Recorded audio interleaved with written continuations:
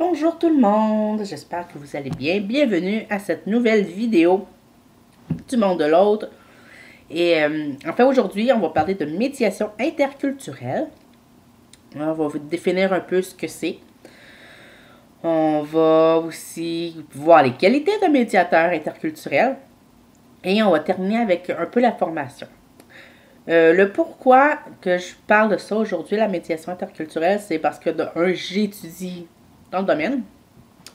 J'ai fait, euh, je suis en train de faire la maîtrise en médiation interculturelle à l'Université de Sherbrooke. Donc, euh, de ça, c'est une des raisons pourquoi j'en parle aujourd'hui. sinon, ben, c'est aussi parce que c'est quelque chose qui est pas connu énormément au Québec, mais qui est quand même relativement présent.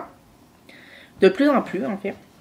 Donc, euh, on va faire euh, un petit tour de ça euh, pour que vous connaissiez ça un petit peu plus. En fait, comme je vous ai dit, c'est. En Europe, en fait, la médiation interculturelle, c'est plus connu.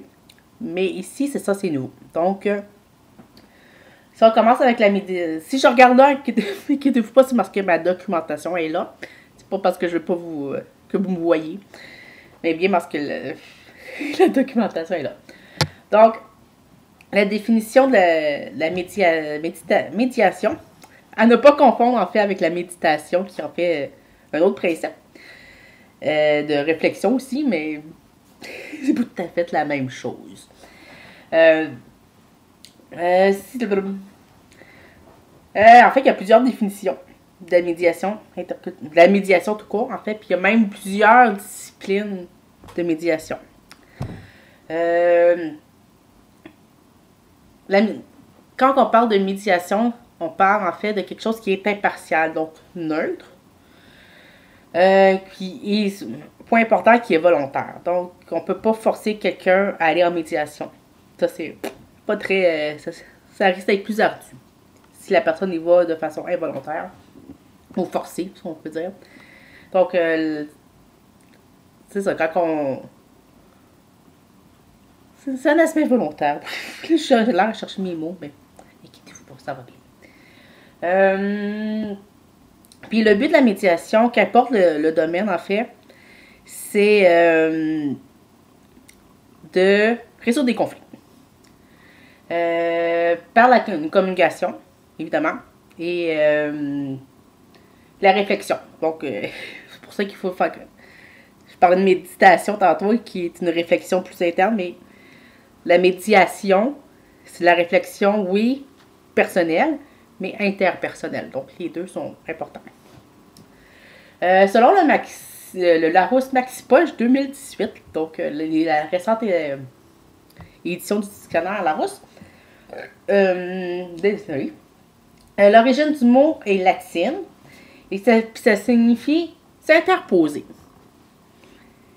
Principe de médiation qui n'est pas tout à fait D'accord? Mais en fait, ce qu'on peut ressortir de ça, aussi qui est écrit dans le dictionnaire, toujours le Larousse, c'est une entreprise destinée à un accord. Donc, oui, on une certaine interposition, mais volontaire. Faut que tout le monde soit d'accord. C'est comme. Euh, en fait, c'est ça que l'entreprise est destinée à mener un accord, c'est plus de l'arbitrage. Ou euh, au euh, sinon, ça peut s'agir d'une procédure qui propose une solution de conciliation aux parties prises en litige. Dans ce cas-là, on parle plus d'un arrangement. Mais quand on parle de médiation, il y a plusieurs solutions possibles, donc euh, selon la, problématique. sinon, hmm, selon le Robert aussi, il y a un c'est 2009, euh, il s'agit d'une entreprise destinée à mettre en accord, à mettre d'accord à concilier réconcilier deux parties. Donc, euh, on s'entend que jusqu'à présent, le but, si on aux, deux, aux définitions qu'on a trouvées, c'est de faire en sorte que deux parties qui sont fâchées, qui sont en désaccord, ben, qui deviennent amis. c'est un peu comme deux enfants qui se chicanent et qui ont fait comme, OK, ben, voici ce qui résolution du problème. Donc, euh, ben, c'est plus complexe avec des adultes, on s'entend. Euh, bon, en fait, il s'agit euh, de moyens d'intervention. Euh, puis les intervenants s'appellent des médiateurs, comme je vous ai dit tantôt. Euh, et ces médiateurs sont présents pour aider et soutenir les gens qui ont des problèmes. J'ai l'air de tourner en rond, mais c'est pour être sûr que vous comprenez ce que c'est. Euh, il y a plusieurs types de médiation. On pense à la médiation familiale qui est plus connue, la juridique, communautaire, pénale, bon, internationale, interculturelle, comme je parle. La médiation sociale aussi qui est, euh, qui est importante.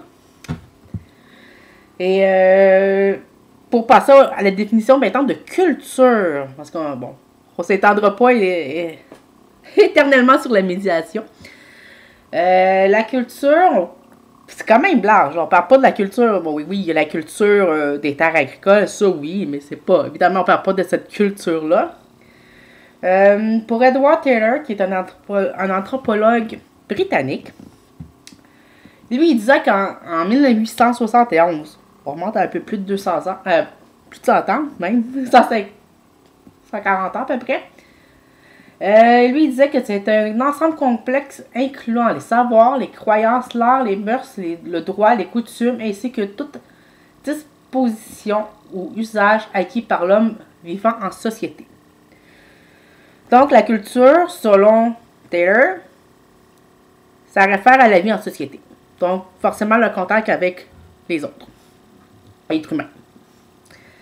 Euh, dans, les dans les années 50, il y a deux anthropologues américains qui ont tenté de faire, euh, de définir en fait ce que c'est la culture. Ils sont arrivés à une panoplie de définitions. Je pense qu'il y en a comme une 150 et même plus de définitions. Euh, mais si on, résume ce qu'ils ont réussi à, à trouver comme, euh, comme euh, définition, on peut dire que c'est euh, l'ensemble des réponses apportées par un groupe aux questions posées par son contexte. Donc, jusqu'à présent, ce qu'on comprend, c'est, pour la culture, c'est vie en société et contexte. Puis pour la, toujours notre ami Larousse, en fait, euh, la culture est un ensemble de coutumes et de, manifestations euh, de toutes sortes par un groupe d'individus. Donc forcément, en résumé, comme je vous ai dit, individu, société, contexte, en gros, c'est la définition de la culture. Mais si on ajoute que, en fait, en fait, tout le monde est porteur de culture, c'est ce que ça veut dire. en fait, en fait, il y a évidemment, tout dépendant de où l'on vit, il y a une culture qui est dominante, puis il y a des sous-cultures. Donc, euh, en gros, on peut revenir avec ça, mais on peut arriver avec, ouais, comme définition, mais si on ajoute aussi l'interculture, en fait, que ça devient plus complexe parce que là, c'est la connexion entre les différentes cultures qu'il y a. En fait, le mot inter, si je ne me trompe pas, que je le trouve comme il faut, je l'ai trouvé dans le revers. Euh, c'est un dérivé. Bon, inter, on, s'en doute un petit peu, là. C'est un dérivé de, du mot entre. Donc, interculturel, c'est entre deux cultures. Et euh, c'est. Euh, en fait, le mot inter signifie l'espacement, la répétition, la relation qui se veut réciproque. pour notre cas, on garde évidemment le dernier qui est la relation réciproque. Donc, relation entre deux cultures. Forcément, s'il y a une relation, c'est parce qu'on est deux. Là, je joue mon quatre doigts, mais en fait, deux. Euh, donc, euh, en gros, c'est ça. On définit la médiation interculturelle au grand complet, on, on regroupe toutes les démissions que je vous ai dites. C'est la résolution d'un conflit en deux parties prenantes, soit de, cultures différentes. Donc, ça peut être des cultures plus locales. Hein, souvent, c'est dominant-dominé. Deux cultures qui, euh, qui, peuvent être de la même société, mais de deux, aussi de deux sociétés différentes. Si on prend l'exemple du Québec, euh, ça peut être une personne de la société dominante, mais on pense aussi aux Autochtones, aux euh, LGBT, ou la culture deuxième, la deuxième génération. Quelqu'un qui est malade aussi, qui fait partie d'une culture. d'une. quelqu'un qui a une maladie récurrente comme, je sais pas, les autistes ont, ont, leur culture aussi, les trisomiques ont leur culture aussi, qu'on le veuille ou non. Donc, c'est la relation, c'est ça, ça peut être entre deux personnes qui vivent des situations complètement différentes. Ou aussi les, anglophones, franco-anglo, on sait qu'au Québec, c'est une situation qui est quand même délicate aussi. Donc, euh, c'est juste de pour vous donner un peu euh, des exemples euh, de ce qu'est la médiation interculturelle à partir de définitions. en fait, les objectifs aussi de la médiation interculturelle, il y en a quand même quelques-unes. Euh, c'est évidemment, euh, en tant que médiateur interculturel, euh, il faut quand même avoir une attitude positive de la diversité parce que c'est de plus en plus le cas aujourd'hui. un peu partout dans le monde, pas juste au Québec. Ou, ici au Québec, on a l'impression même que c'est nouveau alors que ça a toujours fait partie de la société. évidemment, la collaboration avec les différents organismes. Selon les, les, paliers aussi, ça peut être que les entreprises privées comme politiques ou gouvernementales ou qu'importe ce que c'est. Euh, c'est un des objectifs, c'est d'éduquer aussi au pluralisme, à la diversité, euh, faciliter l'intégration des immigrants, ça peut être très large, il y en a beaucoup, vraiment. Puis ici, euh, la, médiation interculturelle, c'est né suite. Euh, bon, ceux qui étaient ici dans en 2007 à peu près, ils s'en souviennent, la commission Bouchard-Taylor, mais pas le même Taylor que tantôt. Là. Euh, il y avait eu la commission, cette commission-là en 2007, qu'on vient de fêter les 10 ans l'année passée. Il y avait eu un colloque justement en octobre. puis une des recommandations qui avait sorti dans cette commission-là, c'est justement de faire un programme de formation pour la médiation interculturelle. Donc, c'est suite à ça, je, je déparle, désolé, suite à ça, que c'est né. Parce que durant la commission, ce qu'ils ont remarqué, c'est que le monde. Il y a beaucoup de. En fait, je veux pas dire ça méchamment, mais il y a une espèce d'ignorance par rapport à la culture. C'est pas nécessairement méchant, mais il y a une ignorance par rapport à l'autre, une méconnaissance de l'autre, en fait. Et euh, ce qu'ils ont constaté, les deux commissaires, c'est que la relation, la, la relation avec l'autre, celui qui nous est étranger, qui nous est inconnu, est parfois difficile. Donc, euh, d'où cette méconnaissance ou cette ignorance-là, c'est pas péjoratif du tout, mais c'est quand même quelque chose qui existe. Donc, c'est né de suite à ça, puis ça, c'est cette ignorance-là de l'autre, c'est partout dans le monde. Parce que même en France, malgré le fait que la culture est quand même plus diversifiée, que le flux migratoire là-bas est plus grand, c'est quand même quelque chose qui est fréquent, que la méconnaissance de l'autre. Euh, pour ce qui est, bien évidemment, la, formation, la formation que je vais vous parler un petit peu plus tard, euh, ça forme des médiateurs, ceux qui travaillent comme en médiation. C'est des médiateurs. Évidemment, euh, c'est pas n'importe qui qui s'improvise un médiateur. Euh, habituellement, les gens qui sont. De, ce que j'ai vu dans mon groupe, euh, c'est évidemment des gens qui sont déjà portés à à vivre la diversité au quotidien, soit par intérêt ou parce que ça fait partie de leur vie euh, de tous les jours, euh, par leur, soit par leur travail ou même par leur, vie personnelle. Donc, euh, déjà en partant, il y a cette prédisposition-là qui est, présente. Mais en plus de ça, il faut avoir des qualités. Évidemment, ben, une des qui est importante, c'est la capacité d'écoute. Si tu n'es pas capable d'écouter l'autre, c'est mieux d'oublier tout ce qui est relation d'aide, euh, on oublie ça. Donc, euh, par conséquence, la médiation interculturelle aussi. Euh, qui, un autre point, autre qualité aussi qui va avec la capacité. Je dépense bien. Désolé. La capacité de, qui va avec la capacité d'écoute, c'est la compréhension de l'autre. Forcément, si t'es pas capable de l'écouter, t'es pas capable de le comprendre. Mais si tu as la capacité de l'écoute, tu vas finir par le comprendre, évidemment, mais il faut des prédispositions. Évidemment, quand on reçoit les confidences des autres, il faut essayer de les garder pour soi. Euh, de ne pas divulguer les, divulguer les choses trop personnelles ou euh, qui n'ont aucun rapport dans le contexte, en fait.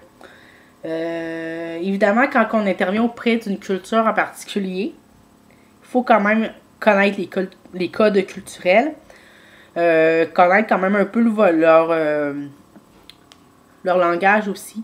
Parce que des fois, il y a des termes qu'eux euh, utilisent, mais que nous, ici, on n'utilise pas. Même si on parle la même langue. Donc, euh, des fois, je regarde mon mari, puis on s'obstine pour des mots que... On dit, on, parle du même mot, mais on n'a pas la même définition. Donc, euh, c'est quelque chose qu'il faut comprendre. Et puis si en plus on est capable de parler leur langue, en cas de, gens qui, comme par exemple le français ou l'anglais, c'est leur deuxième langue, si on est capable de parler, je sais pas, comme dans le cas de mon mari qui est algérien, donc parle arabe, ça facilite un petit peu les choses des fois parce que on peut réussir à à se comprendre un peu mieux. Euh, aussi, ce qui est important, puis je pense que c'est comme ça dans tous les domaines où on a travaillé avec euh, l'être humain. Donc, euh, j'ai inclus le service à la clientèle, relations d'aide et, autres euh, professions du genre. Euh, la décentralisation, c'est-à-dire être capable de pas tout prendre personnel, mais de se détacher aussi de, ce qui se passe. Mais en même temps, il faut être capable de dire, ben, regarde, ce, cas-là, j'aime mieux pas le faire, fait que je, vais me retirer, puis je, je vais passer. C'est être capable de dire non, en fait aussi. Il y a l'empathie ça va avec la compréhension et l'écoute de l'autre aussi. Hein. Euh, être indépendant et être neutre. Ça veut dire pas avoir. Euh, être attaché une partie à l'autre ou avoir un parti pris, c'est à éviter, évidemment. Parce qu'on s'entend que ça, ça avantage ni une partie ni l'autre. Au contraire, je pense que si on est. Euh, on prend parti pour une, une personne ou l'autre qui, était, qui est impliquée dans le conflit, ça nuit beaucoup plus qu'autre chose. Donc, euh, c'est d'être indépendant et neutre, euh, c'est quand même important. Euh, la connaissance de la mixité de. J'ai marqué mixité, mais c'est la diversité, en fait, tout ce qui est. C'est sûr qu'il faut avoir, comme je vous ai dit depuis le début, une prédisposition à la connaissance de l'autre, à vouloir entrer en relation avec lui, pour être médiateur interculturel. Mais, euh, comme je vous ai dit, il faut, faut que ça fasse partie déjà de notre vie d'une certaine manière. Comme moi, quand je, quand je suis arrivée sur le marché professionnel, après ma technique en service de garde, je suis venue bien que j'ai fait ma formation à Québec, j'ai travaillé ici à Montréal. J'ai fini mon cégep, je suis venue à Montréal. Donc, tout de suite en partant, forcément, j'avais cette... Euh, prédisposition-là, parce qu'on s'entend que Montréal, il y a beaucoup, beaucoup, beaucoup de, de, diversité. Donc, euh, forcément, je travaillais avec euh, des enfants qui parlaient pas français. Mon premier groupe, d'ailleurs, en, en, garderie, c'était des enfants de 18 mois. Puis, sur, je pense, 6 ou 7 enfants, j'avais un Québécois. Les autres, ben, c'était tous des Québécois parce qu'ils étaient tous nés ici. Mais j'ai un blanc francophone, j'avais des haïtiens, j'avais des arabes, j'avais pas personne qui parlait français dans le groupe. Donc c'est un peu difficile d'intervenir dans ce temps-là. Surtout qu'en plus j'étais remplaçante et je connaissais personne. Donc euh, c'était assez cocasse. Évidemment, euh, quand euh, on, est médiateur interculturel ou intervenant avec l'être humain de façon générale, il y a des choses à éviter comme le paternalisme faut pas euh, prendre. Euh, oui, on est là pour aider les gens, mais on les prend pas par la main. Puis voici ce qu'il faut faire et voici les étapes. Il faut que les solutions viennent d'eux. nous, on est là pour mettre des balises puis questionner, les faire réfléchir, mais jamais pour euh, leur dire voici ce qu'il faut faire. Ça, c'est vraiment à éviter. Euh, L'ethnocentrisme aussi, mais éviter. C'est pas juste moi, moi, moi, moi, mais faut prendre en contexte ce que les autres disent aussi, parce qu'ils ont leur point de vue, ils ont leur. ils ont leurs habitudes. Je regarde mon mari qui, lui, a l'habitude de telle, telle, telle chose, manger à telle heure, puis je m'en rendu. J'ai compris l'importance de cette routine-là quand j'étais en Algérie dans sa famille, où j'ai vu que vraiment la routine c'était quoi, puis pourquoi il agissait ici. Donc c'est sûr que même si moi ça me fait pas plaisir de, de cette routine-là, je dois m'adapter à lui puis dire bon ok, lui c'est comme ça, mais on va plus, on va, on va s'adapter puis euh, faire en sorte que que ça aille bien pour euh, tout le monde aussi. Euh, oui. En fait, si on peut résumer un peu, euh, la, le médiateur interculturel, c'est une personne de ressources, un guide, quelqu'un qui est là pour aider. Donc, c'est surtout ça, à la résolution d'un conflit entre deux parties, entre deux, euh, deux groupes, deux, deux personnes de cultures différentes. Que cette culture-là soit locale ou inter, interculturel, international. Prenez le temps que vous voulez. Donc, euh, en gros, c'est ça la médiation interculturelle. Au Québec, la formation, comme je vous ai dit tantôt, euh, elle, se donne uniquement à une université. C'est à l'université de, de Sherbrooke. J'ai eu beaucoup d'univers dans, dans, ma phrase. Donc, l'université de Sherbrooke. Euh, au campus de Longueuil, donc à côté du métro Longueuil, juste à côté. Donc, euh, c'est une formation de deux ans, c'est maîtrise. Et honnêtement, comme je l'ai dit dans mon groupe, on vient de différents univers. Donc, il n'y a personne qui a la même formation, le même background. Il y en a qui ont passé euh, directement du baccalauréat à la maîtrise. D'autres qui ont eu un cheminement professionnel, qui ont eu voyagé, qui ont immigré. Il n'y a personne qui, a de la même discipline. On vient de domaines similaires. Donc, euh, oui, communication, euh, travail social, surtout, enseignement. Euh, les langues. Il y a beaucoup, il y a deux, des traducteurs. Donc, c'est très varié, mais il y a même, il y a personne qui a le même identique, identique, la même formation, soit cégep, université. Il n'y a personne. Puis déjà, en plus, on arrive dans la maîtrise puis on n'a pas les mêmes intérêts. Donc, euh, déjà partant, c'est différent. différent. par exemple, moi, je suis la seule à avoir dans mon groupe une technique en éducation service de garde, un certificat en sciences sociales. Je suis la seule avec un baccalauréat en animation et recherche culturelle. Je suis la seule. Euh, bien qu'il y ait d'autres euh, musulmans dans le groupe, je suis la seule convertie. Les autres, c'est des immigrants. Donc, euh, on s'entend que même si euh, on pourrait avoir le même parcours, notre cheminant de vie est différent aussi. Donc, euh, c'est ça. Bon, comme je vous dis, oui, il y a l'Université de Sherbrooke qui donne le cours de médiation interculturelle à la maîtrise. Par contre, il y a quand même d'autres universités qui donnent des cours à connotation interculturelle. Il y a l'UCAM qui donne des cours au Québec. Sinon, Concordia, McGill, euh, Carleton College a déjà offert aussi des cours de Cultural Studies. Donc, euh, en anglais, ça se donne aussi à Montréal. Parce qu'on s'entend Montréal très euh, multiculturel.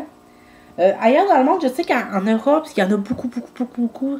La majorité même des documentations qu'on a dans, notre parcours, quand on lit à la maîtrise, ça, tout, ça vient beaucoup, beaucoup, beaucoup de l'Europe. Ils sont plus en avance euh, que nous. Donc, euh, en gros, c'est ça. Puis si on fait une perspective d'emploi, eh ben, c'est très varié. On peut travailler dans le domaine de la santé.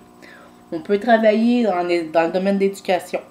Euh, on peut partir à son compte. On peut travailler dans les instances publiques gouvernementales. On peut travailler un petit peu partout. Donc, euh, c'est juste que c'est ça, comme je dis, chacun fait son euh, parcours euh, professionnel. Puis, une, je vous dirais que si vous avez à chercher un médiateur ou une médiatrice, tout dépendant de, ce que vous recherchez, vérifiez ses antécédents parascolaires ou scolaire, ça, un peu, essayer d'en apprendre un peu plus sur lui pour qu'il euh, soit. Euh, que vous l'aimiez, que vous ayez une belle relation de confiance avec lui, parce que c'est pas toujours le cas. Des fois, euh, n'hésitez pas à prendre des références sur lui ou quoi que ce soit si vous avez un doute. Parce qu'on s'entend que c'est quand même personnel comme situation. Donc, quand on travaille avec des médiateurs interculturels, même nous, on travaille, on peut pas travailler avec tout le monde c'est vraiment, faut chercher notre clientèle vraiment qu'on préfère. Donc, euh, c'est important de, vérifier euh, là-dessus.